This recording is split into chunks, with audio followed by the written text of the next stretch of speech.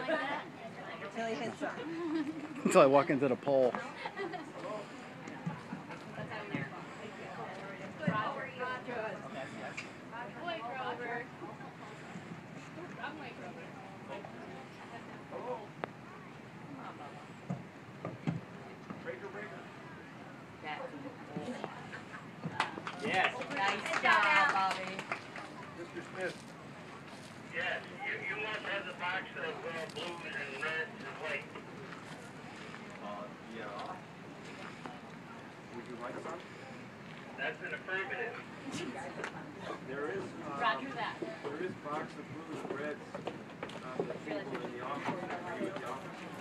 That's correct. Uh, a couple of white boxes right there on the, on the table on the back wall.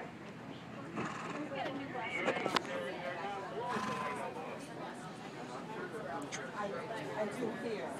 I didn't for that last show.